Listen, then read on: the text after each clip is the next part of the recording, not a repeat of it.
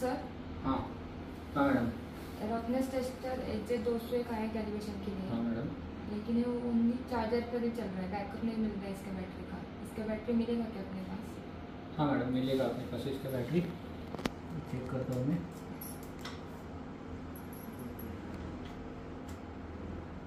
निकालने के बाद और फिर ओके मैडम। मैं चेक करके बताता हूँ आपको। मेटेडियो का एस ए मशीन है। इसका बैटरी इसके नीचे रहता है। ये वीडियो के लिए हमने दो स्क्रू इधर इधर एक स्क्रू रहता है और इधर एक स्क्रू निकला है। ये स्क्रू निकाल के रखा है पहले।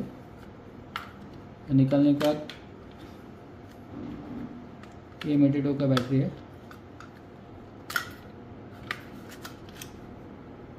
ये बैटरी है मेटेडो का। सिक्स वोल्ट का। ये मॉडल अभी एब्सोल्यूट हो गया है। इसका पार्ट अभी कंपनी नहीं देती है बैटरी का।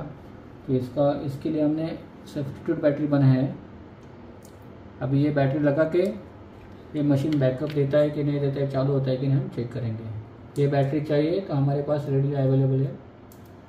आपको अब मैक्टिव का कुछ भी इंस्ट्रूमेंट चाहिए स्पेयर पार्ट चाहिए तो हमारे पास रेडी अवेलेबल रहता है।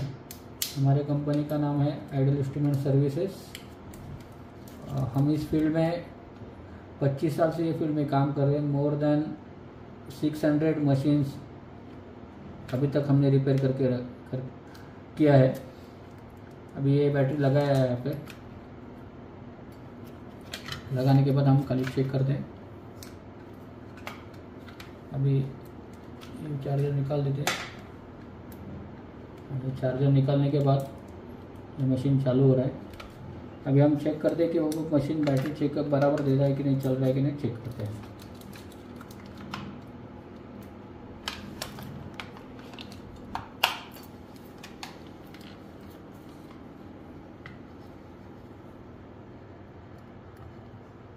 ये कैलिब्रेशन स्टेज है, ये इसका स्पेसिमन है मेटेटिव का।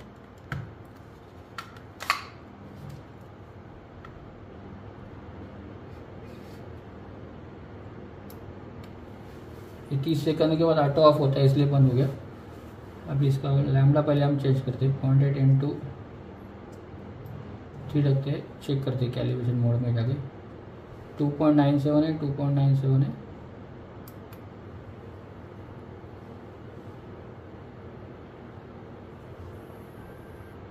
टू पॉइंट नाइन फाइव है। मीन्स ये मशीन ओके है।